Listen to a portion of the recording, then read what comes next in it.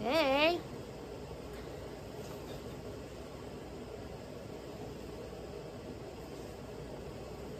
Welcome, class. You've come to my lesson on the worst films ever made by Stanley Kubrick, which parallels in this universe with what happens to bullies, abusers in the future.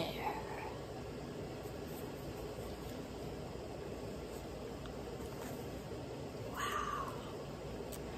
I heard that Miss uh, Taylor Swift, or whatever her name is, has been copying Stanley Kubrick's style.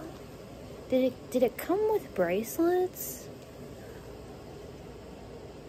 Or she's gonna have two bracelets, handcuffs, and not the kinky kind. Or maybe she's into kinky stuff because she harms women and gets off on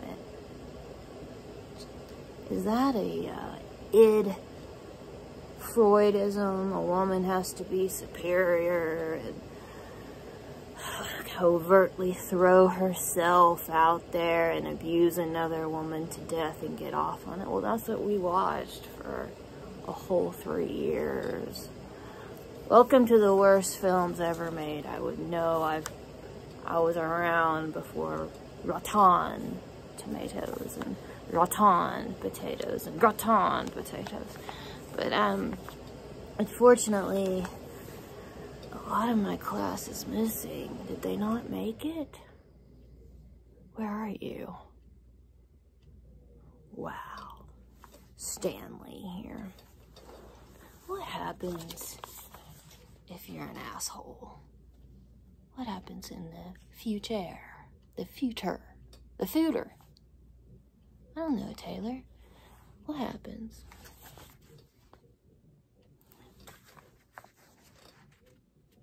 Is it true you pay for what you get?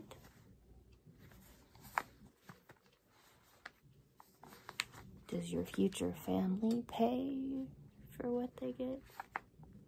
Even if you don't. I have directed many films. We didn't have AI when we directed our films. Didn't have CGI. We built a lot of shit. And still was able to make better shit than what you guys have made this year. Why is that? Because there's a lot being said for doing less. There is also a lot being said and not being the narcissist that you are. Here you are, beings, ids of the world, directors, celebrators, scullators. I would just like to say,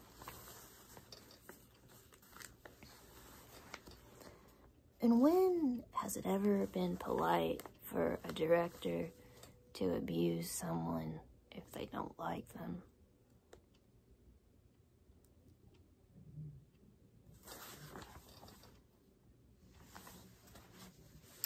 You know, uh, don't be angry if you're you're dating your hand.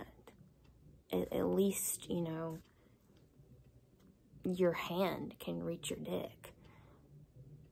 But if you're mean, like maybe I've been or other people have been, making fun of people with MS or ALS, or making fun of people with disabilities that can't reach or touch or have burning feet like Miss Taylor Swift did and others have, what do you think your future's gonna look like? And for directors that think empowering women or people that are disadvantaged or genderqueer people is by manipulating them and torturing them and bribing them to open doors. Whoa. I mean, I may be dead and made films that you may not relate to anymore, but even I know that the female heroine should be the one opening the doors for you assholes. Exchanges is an interesting term. So what, I'm sorry I got off topic, off topic. Maybe it's because I'm so damn upset that I can't get to my dick because I have no hands. But you know, if I fall and hit my head and have a brain bleed, I won't be able to touch anything or break my neck. People just don't care about that kind of stuff, do they, Taylor?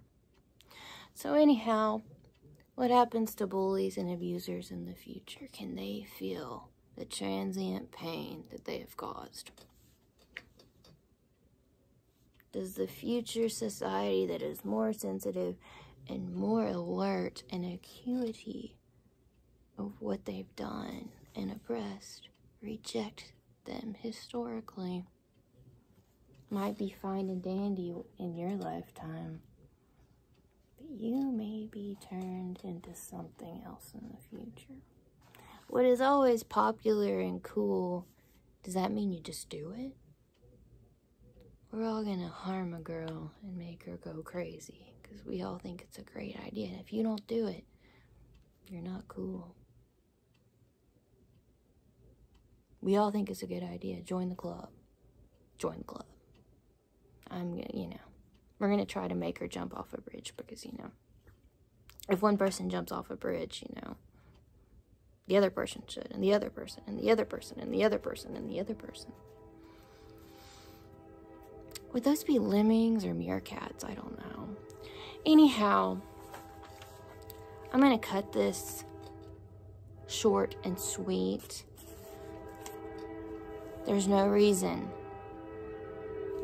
for you to be a bully or an abuser.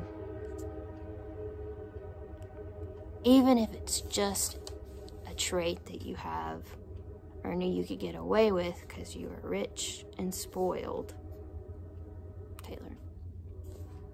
Or other men that pretend to care about poor people that have helped you, like Ryan Adams and Brad Pitt and Steven Spielberg, that don't really care about poor people and disabled people if they would use you to hurt me. Oh, excuse me. Miss Stroke. What happens to bullies in the future and abusers?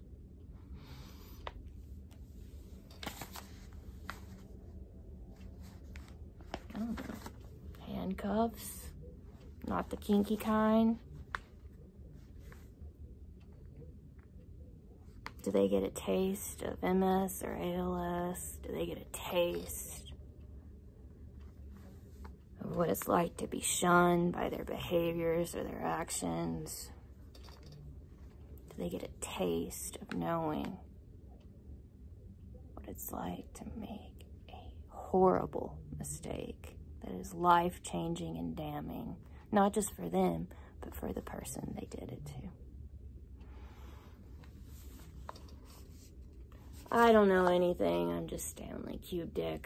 Made some great pieces of art that didn't involve AI, CGI, or Dana's eyeball. Am I selfish for it? I don't know. Some people are.